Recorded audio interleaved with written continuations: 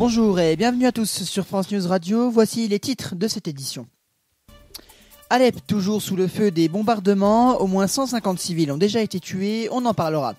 Thomas Pesquet s'est amarré à la Station spatiale internationale, on reviendra sur ce sujet dans quelques instants. Et puis à la fin de ce journal, on parlera de la hausse des tarifs des péages autoroutiers. Et avant de développer les titres, un point météo peut-être avec Romain Lucas. Bonjour. Bonjour Hugo, bonjour à toutes et à tous. Cette nuit, le vent a soufflé fort sur les régions du nord-ouest. Météo France a pu relever jusqu'à 160 km/h à Blougonville, en Bretagne. La vigilance orange a été étendue à la Loire, la Haute-Loire et le Rhône. De plus, seules les régions du nord, du Pas-de-Calais et de la Somme sont maintenues en vigilance orange au vent violent. L'alerte a été levée en Normandie et Bretagne. La vigilance orange devrait être levée pour les six départements toujours en alerte demain matin. Cet après-midi, la pluie recouvrira la partie nord de la France des frontières de la Belge à Bordeaux. Sur le reste du pays, le soleil sera présent avec toutefois quelques averses en Provence-Alpes-Côte d'Azur. Côté température, il fera entre 10 à 14 dans le nord et de 9 à 17 dans le sud.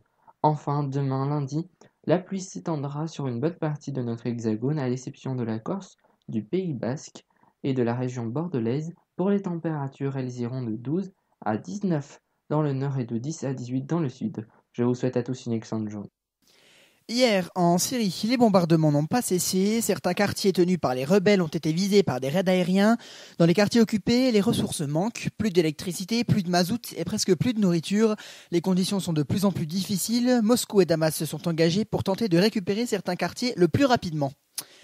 Amarrage confirmé. Ces deux mots ont été prononcés par un commentateur de la NASA pour confirmer que l'astronaute Thomas Pesquet a bien été amarré à la Station spatiale internationale. L'étanchéité de la liaison confirmée, les astronautes ont pu enfin sortir, se dégourdir les jambes. Durant six mois dans l'espace, l'astronaute a pour mission de réaliser pas moins de 62 expériences pour différentes sociétés. Le tarif des péages autoroutiers augmenté de 0,76% en moyenne, une hausse conséquente qui, qui, rembourserait de gros travaux réalisés à la demande de l'État, mais aussi la hausse de certaines redevances et certaines taxes. Le chiffre n'est pas fixe pour le moment et, n'a pas été annoncé officiellement, pardon, mais il semblerait qu'il se, qu'il se rapproche du tarif qui vous sera demandé en 2017 si vous empruntez l'autoroute. C'est la fin de cette édition du Flash Info. Merci de votre fidélité. Prochain rendez-vous information, c'est avec Léandre Patron ce soir à 20h. Il vous présentera une édition spéciale consacrée au premier tour des primaires de la droite. Quant à moi, je vous retrouve mardi à 18h45 pour un prochain Flash. Bonne journée.